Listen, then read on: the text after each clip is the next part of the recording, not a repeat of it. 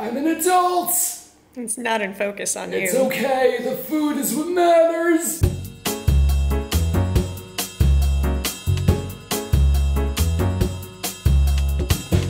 Hey, it's been a while.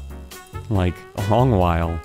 Like, look at this kitchen. It's a different kitchen. Also, the uh, pandemic happened and is still happening. Get vaccinated if you are able and haven't yet. Uh, what are you waiting for? A lot has happened since the last time I saw you. I moved. I got married. Check out my wedding ring. It's like a quarter size too big, so I have a little spacer that I need to keep it from falling off. I also got more bald.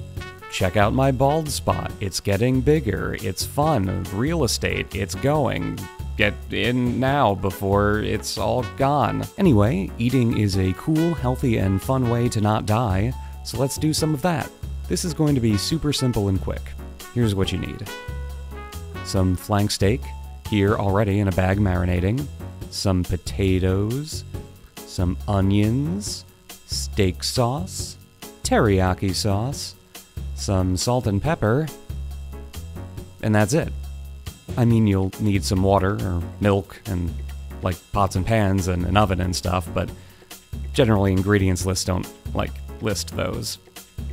Okay, uh, first let's marinate our steak.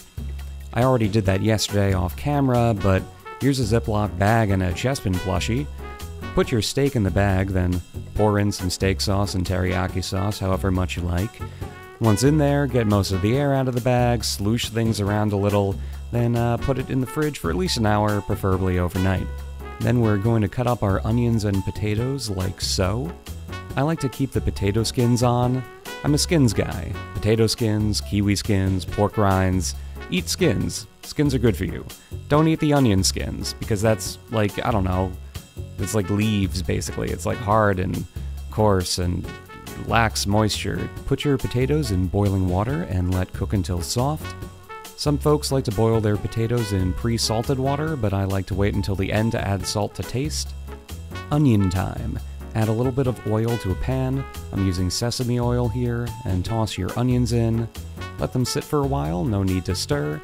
We want them to brown a little and build up some fond in the pan. Every once in a while, give them a toss. They should get translucent and char a bit. Add some steak sauce and teriyaki sauce to the pan now. Turn the heat on low and let simmer. Back in potato land, once your potatoes are soft, like a fork goes right through them soft, strain them and return to the pot. Add a tablespoon of butter, then mash. Add some milk. I'm using oat milk here. This is the point where you'd add salt and pepper to taste. Cover and let sit. Prep the steak. Line a pan with foil and pat your steak dry. Salt and pepper on both sides. Set your broiler to high and broil for 5 minutes on both sides. Occasionally sit in front of uh, your oven and pretend you're a contestant on the Great British Baking Show. You can also probably see my bald spot again. Once done, remove and let sit for at least 5 minutes. While that's going on, get some mashed potatoes on a plate, add your salty, oniony goodness, then, after your 5 minutes, cut some steak and enjoy. Also, make a second plate of food because your wife is going to be mad at you because it took so long. I know I said this was going to be quick, and generally it is, but because I had to keep on moving cameras around and the setup in the beginning anyway was already annoying, you know, we want to we want to eat food now, and I love my wife, and we're gonna have we're gonna have dinner now. But uh, it's quick and fast and a speedy cleanup. Oh, also regarding cleanup, I have a dishwasher now, and a washer and dryer life is uh, super different uh, than the last time I saw you, and I hope everyone is doing well. See you next time, whenever that is.